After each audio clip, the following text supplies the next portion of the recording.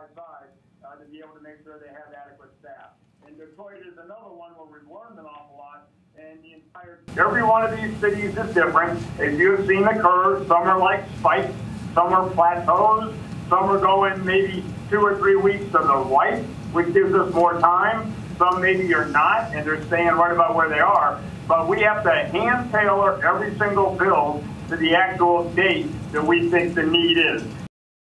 There has not normally been any financial challenges here when we have a validated need coming from a city or a mayor. So we don't know what that number is going to be. And then the other thing, Lita, that's important here, we're beginning to run out of time. Uh, what we used to have is a month to build this and maybe a week or two for a mayor to make a decision.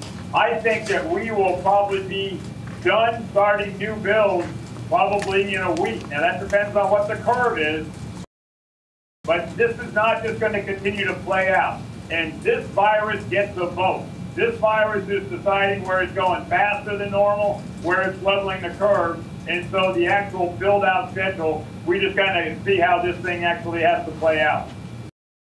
But what do you do with these facilities? And let's hope that we come down off these curves and all of a sudden we are in the uh, pick a month, June, July, August, whenever, where we can hopefully get back to normal. Then the question is, do we tear these back down or do we leave these up? And that is a question that uh, obviously FEMA is going to have to wrestle with, and I think the local and state government's going to have to wrestle with.